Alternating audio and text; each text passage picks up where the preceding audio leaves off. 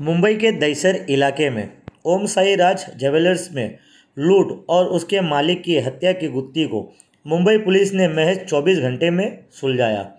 Mumbai police के हत्या चढ़े पाँच आरोपी, जिसमें तीन शार्प शूटर और दो अन्य आरोपी हैं। ये लोग कई महीने से इसकी साजिश रच रहे थे। पाँचों आरोपी को गुजरात के सूरत ज़िले से गिरफ़्तार किया गया। आइए देखते हैं पूरी खबर। जो है जिसने ये तीन लड़कों को भेजा है उसको अरेस्ट करना बाकी है। और जिसके घर में छुपे थे वो लोग उसको ताबे में लिया है लेकिन उसका रोल हम वेरीफाई कर रहे हैं। उसके अरेस्ट के बारे में भी विल टेक कॉल नहीं वैसे वो आरोप एक आरोपी बता रहा है कि इसमें जो मेन फायरर था जिसकी जिसने गोली मारी और वो 18 साल का बच्चा है उसके ऊपर कुछ गुने हैं फायरिंग के और जो मेन कॉन्स्पिरेटर है वहाँ।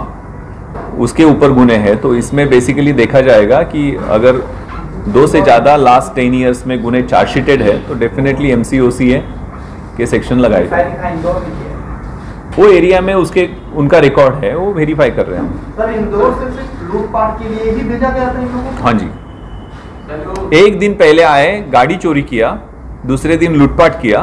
लूट के लिए ही जाना है द वर्ड्स वेयर वहाँ जाके लूट करना है। ओम साइरा ज्वेलर्स शॉप में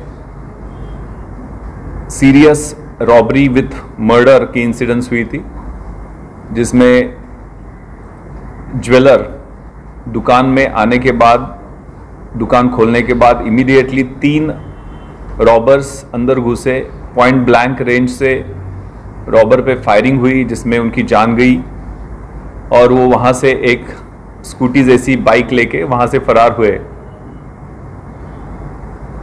जो स्कूटी का डिस्क्रिप्शन था और जो आरोपियों का डिस्क्रिप्शन था, वो एक गाड़ी परसों ही चोरी को गई थी एक्टिवा।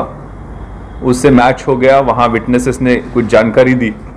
बेस्ड ऑन दैट जो एक्टिवा चोरी हुई थी, उसमें जो चोर आए थे, वो चोरी करने चोर आए थे, वो एक होंडा सिटी कार में आए थे। वहाँ तक हमारी टीम पहुँची। और उसके बाद ओनर की प्रॉपर इंटरोगेशन उसके सोशल मीडिया प्रोफ़ाइल का प्रॉपर तपास करने के बाद तीन आरोपियों के करेक्ट डिस्क्रिप्शन हमें मिले और सूरत के पास एक गाँव है, वहाँ ये छुपे हुए थे। वहाँ इमिडिएटली हमारी टीम ऑलरेडी रवाना हो चुकी थी क्योंकि फाउंटेन होटल जो काशीमीरा का जुरिडिक्शन में वहाँ उनका लोकेशन मिला था। और वहाँ तीन आरोपियों को वही पकड़ लिया।